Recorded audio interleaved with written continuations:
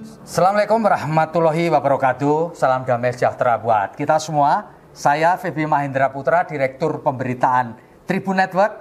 Kali ini saya berada di Kabupaten Situbondo, Jawa Timur. Bersama dengan saya Pak Bupati Situbondo, Dr. Andes Haji Karna Suswandi MM. Beliau akrab dipanggil dengan Bung Karna. Ya. Betul Pak Bupati ya? Betul, betul. Pak Bupati bisa cerita sedikit pada pembaca kita Pak Bupati Ya. di seluruh Indonesia.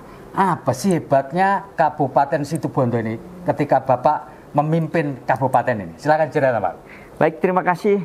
Eh, Kabupaten Situbondo di tahun 2020 Hmm. kemiskinannya di atas kemiskinan ekstrim Ya. itu 30 ribu lebih. ya.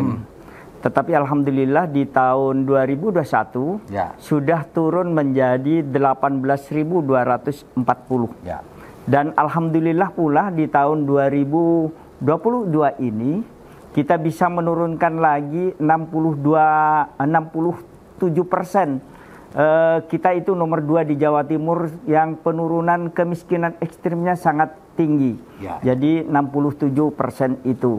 Dan sekarang tersisa hanya 6.010 dan ini tinggal 0,87 persen dari target presiden di mana tahun 2024 kemiskinan ekstrim kita ini harus nol. Insya Allah mudah-mudahan eh, dengan ridho ilahi Robbi kita bisa menyelesaikan kemiskinan ekstrim eh, mendahului dari target presiden insya Allah di tahun 2023. Semoga berbagai program dan kegiatan kita bisa eh, menjangkau eh, sesuai dengan keinginan kami untuk bisa zero di tahun 2023. Pak Bupati, Nggih. saya mau tanya ini. Kuncinya apa ini?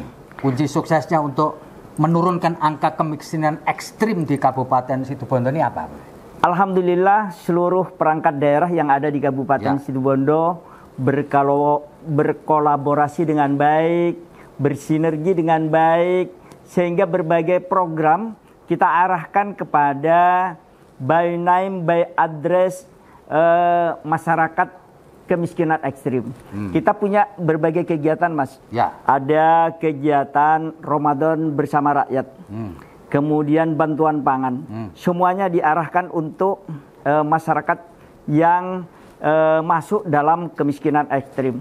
Kemudian kita punya eh, kegiatan jambanisasi. Hmm, Kita arahkan kepada keluarga yang kemiskinan ekstrim.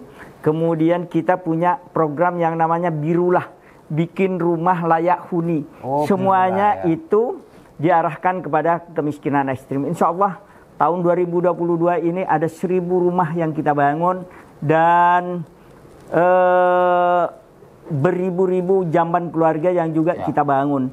Dan kami saat ini sedang merintis eh, bekerja sama dengan Balai Benih Padi Subang, eh, sedang merintis bibit padi unggul yang nanti akan menjadi milik Kabupaten Situbondo.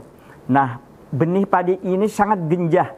Umurnya hanya berumur 75 hari Panen. setelah tanam. Setelah Jadi taman kalau 75 hari panen.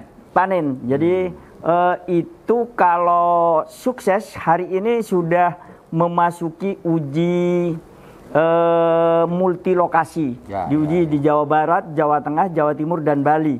Alhamdulillah eh, ini berhasil. Ya, ya. Dan tingkat produksinya eh, rata-rata 6,5 ton Ya. da- per hektar dan sekarang lagi memasuki lab untuk diuji dengan ketahanan pang, eh, ketahanan hama Oke. di, ru- di ruang kaca. Sehingga nanti kalau ini berhasil maka masyarakat Situbondo akan pa- panen padi sebanyak empat kali dalam setahun. Dan ini akan sangat berpengaruh terhadap upaya untuk meningkatkan kesejahteraan masyarakat. Sehingga kemiskinan di Kabupaten Situbondo lambat tahu lambat laun akan eh, bisa kita tekan, bisa kita turunkan dengan Sampai baik. nol. Ya, insya Allah seperti itu. Tapi mungkin Allah itu menciptakan dua hal, mas. Ya, ya, ya. Ada siang, ada malam. Ada kaya, Ada kaya, miskin. ada yang miskin. Jadi Kalau ini adalah orang miskin. kodrat dari Ilahi Robbi. Ya, ya, ya. Tetapi kita wajib untuk terus menekan dan menurunkan angka kemiskinan ini. Jadi nanti 2024 kita lanjutkan. Ya, insya Allah seperti itu. Oke. Mudah-mudahan masyarakat Situbondo sejahtera dulu lah mas. Sejahtera dulu baru lanjutkan. Iya. Baik. Insya Allah seperti itu. Baik, terima kasih Pak Bupati Bung Karna di Kabupaten Situbondo. Saya Febi Mahendra Putra pamit undur diri untuk keliling ke wilayah timur Jawa Timur yang lain. Salam sehat buat warga Situbondo. Salam terima kasih. sehat, terima kasih.